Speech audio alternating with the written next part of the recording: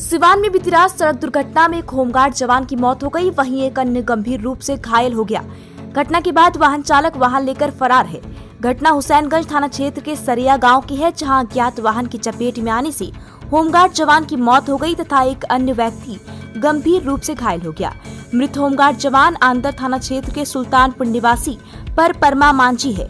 वहीं घायल व्यक्ति की पहचान हुसैनगंज थाना क्षेत्र के सरिया गाँव निवासी गुड्डन शाह के रूप में हुई है। मृत होमगार्ड जवान हुसैनगंज में तैनात थे। बताया जाता है, वो अंदर से ड्यूटी के लिए थाना आ रहे थे। इसी क्रम में दुर्घटना में उनकी मौत हो गई। घटना की सूचना मिलते ही स्थानीय थाना पुलिस मौके पर पहुँची। वहीं होमगार्ड एसोसिएशन अध्यक्ष जितेंद्र कुमार सिवान सदर अस्पताल पहुँचे और घटना की जानकारी ली। इसके साथ ही मृत जवान के परिवार को हर संभव मदद का आश्वासन दिया।